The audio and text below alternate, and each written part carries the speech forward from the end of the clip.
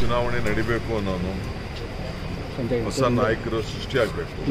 ತಾಲೂಕು ಮಟ್ಟದಲ್ಲಿ ಜಿಲ್ಲಾ ಮಟ್ಟದಲ್ಲಿ ರಾಜ್ಯ ಮಟ್ಟದಲ್ಲೆಲ್ಲ ಕೂಡ ನಾಯಕರು ಬೆಳಿಬೇಕು ಅಂತ. ಯಾಕೆಂದರೆ ವಿದ್ಯಾರ್ಥಿ ಎಲೆಕ್ಷನ್ ಎಲ್ಲ ನಾವೆಲ್ಲ ನಿಲ್ಲಿಸ್ಬಿಟ್ಟಿದ್ದೀವಿ ನಾವೆಲ್ಲ ವಿದ್ಯಾರ್ಥಿ ಪಾಲಿಟಿಕ್ಸಿಂದ ಬಂದವರು. ಲೀಡರ್ಶಿಪ್ ಬೇಕು. ಪಂಚಾಯತಿಂದ ಪಾರ್ಲಿಮೆಂಟ್ವರೆಗೂ ನಾಯಕರನ್ನ ನಾವು ಬೆಳೆಸಲೇಬೇಕಾಗಿದೆ ರಾಜೀವ್ ಗಾಂಧಿಯವರ ಕನಸು ಕೂಡ ಇದೆ. ಎಪ್ಪತ್ತ್ಮೂರು ಎಪ್ಪತ್ನಾಲ್ಕನೇ ಅಮೆಂಡ್ಮೆಂಟ್ ತಂದಿದ್ದು ಕೂಡ ಈ ಉದ್ದೇಶದಿಂದನೇ ಪಂಚಾಯತಿಯಿಂದ ಪಾರ್ಲಿಮೆಂಟ್ವರೆಗೂ ನಾಯಕರುಗಳು ಬೆಳಿಬೇಕು ಅನ್ನೋ ದೃಷ್ಟಿಯಿಂದ. ಇವತ್ತು ನಡೀತಾ ಇದೆ.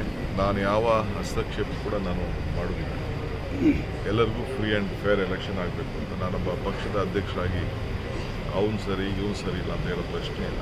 ಯಾರು ಚೆನ್ನಾಗಿ ಆಸಕ್ತಿ ಇಟ್ಕೊಂಡು ಪಕ್ಷಕ್ಕೆ ಟೈಮನ್ನು ಡಿವೋಟ್ ಮಾಡ್ತಾರೆ. ಯಾರು ಸಂಘಟನೆ ಮಾಡ್ತಾರೆ, ಯಾರು ಸಕ್ರಿಯ ಮಾಡ್ತಾರೆ.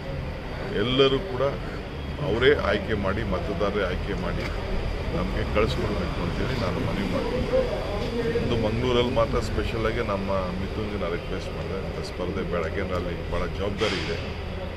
ಪಾರ್ಲಿಮೆಂಟ್ಗೂ ಕೂಡ ಕ್ಯಾಂಡಿಡೇಟ್ ಆಗ್ತದೆ ಸುಮ್ಮನೆ ಇಲ್ಲಿ ದೊಡ್ಡ ರೆಸ್ಪಾನ್ಸಿಬಿಲಿಟಿ ಇದೆ ಕರಾವಳಿ ಪ್ರದೇಶದಲ್ಲಿ. ಪಾರ್ಲಿಮೆಂಟ್ ಟಿಕೆಟ್ ಕೊಟ್ಟಿದ್ದಾರೆ ನಾನು ಸ್ವಲ್ಪ ಅಡ್ವೈಸ್ ಮಾಡಿದೆ. ಅಷ್ಟು ಬಿಟ್ಟರೆ ಮೇಕೆ ನಾನು ನೋಡಿದೆ ಪ್ರಯತ್ನ ಮಾಡಿದೆ. ಬಟ್ ಎಲ್ಲರೂ ಭಾಳ ಉತ್ಸಾಹದಿಂದ ಇದ್ದರು ಅದಕ್ಕೆ ಅವ್ರು ಬಿಟ್ಟು ಹಿಂದೆ ಸರಿಯೋದಕ್ಕೆ ನಿಮ್ಮ ಒತ್ತಡ ಕೂಡ ಕಾರಣ ನಾನು ಸಜೆಸ್ಟ್ ಮಾಡಿದ್ದೀನಿ ಆ್ಯಸ್ ಎ ನನ್ನ ಬ ಕ್ಲೋಸ್ ಅಸೋಸಿಯೇಟು ನನ್ನ ಹೆಸರಲ್ಲಿ ಯಾರೂ ಉಪಯೋಗ ಆಗಬಾರ್ದು ಅನ್ನೋ ದೃಷ್ಟಿಯಿಂದ ನಾನು ನನ್ನ ಅಡ್ವೈಸ್ ಮಾಡಿದ್ದೆ ಅಷ್ಟೇ.